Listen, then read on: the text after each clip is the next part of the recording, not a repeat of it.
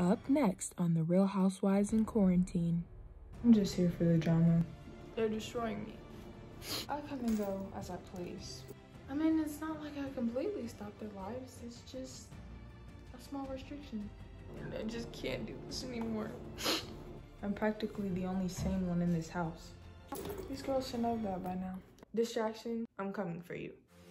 When you hear the term self-care, you probably think of face masks and skincare products like Proactiv or CeraVe. But that's not all that it is. Self-care is self-preservation. It's relaxing and taking a moment to better yourself. If a face mask helps improve your mood, by all means go ahead. Maybe it's talking to a friend, dancing, cleaning, or maybe it's just taking a few moments to breathe.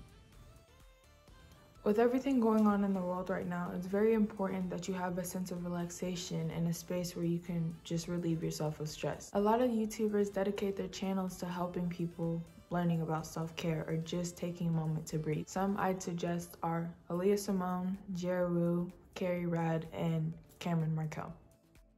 Missed the last episode? No problem. We got you at stayathome.com slash for my safety.